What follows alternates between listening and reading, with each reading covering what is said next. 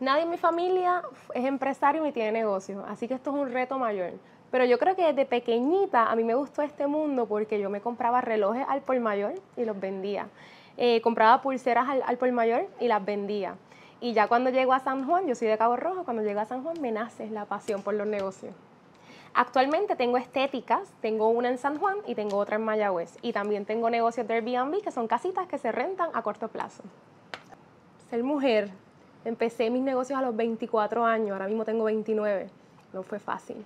Pero yo digo que cuando tú tienes las ganas, cuando luchas, cuando te, aprendes, te instruyes y la, la motivación, no hay nada en esta vida que tú no puedas lograr.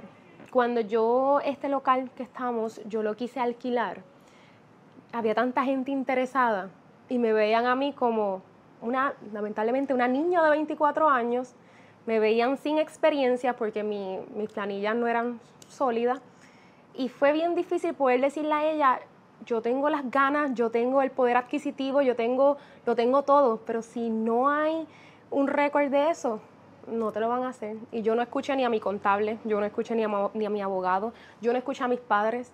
E hice algo que todo el mundo me dijo que no.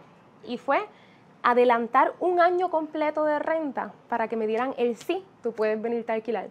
Exacto, era una oferta tentadora porque era completamente un año que estaba ofreciendo por adelantado.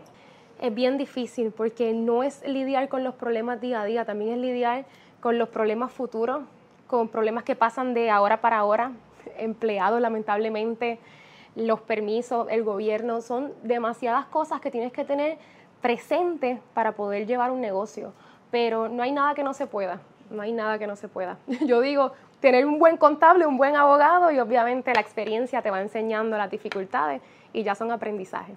yo digo que yo más o menos cada tres meses estoy cogiendo un curso, aunque yo no lo vaya a practicar, un curso de algo relacionado a lo que yo estoy haciendo. So que la preparación es sumamente importante. En Sontan ofrecemos diferentes servicios, pero los más que ahora mismo están en tendencia es la remoción de tatuajes con pico laser eh, tenemos también el spray tan orgánico, que es un spray tan, es un bronceado. Tenemos la eliminación del vello permanente con lo que es el diodo laser. Y tenemos la criolipólisis, que es para eliminar esta grasita localizada. Yo me creo la mujer súper poderosa. Yo divido mi tiempo para todo. Yo, yo digo que cuando tú te organizas, tú lo puedes hacer todo. Así que yo literalmente tengo una agenda y llevo primero tengo dos celulares, así que siempre ando con ellos.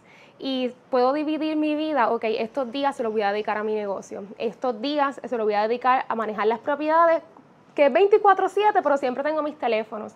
Y cuando estoy también en Telemundo como el modelo, pues también tengo mi agenda, tengo mi teléfono, o sea, yo siempre lo tengo todo porque siempre estoy preparada para todo, pero siempre todo lo puedo lograr. Para mí un no no existe, yo todo lo puedo lograr.